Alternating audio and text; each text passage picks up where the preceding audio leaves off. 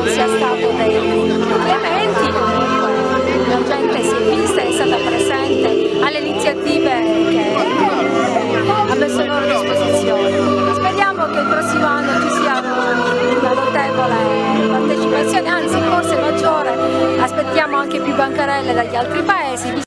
Quindi vi aspettiamo numerosi alla prossima edizione del mercatino di Urallao 2015.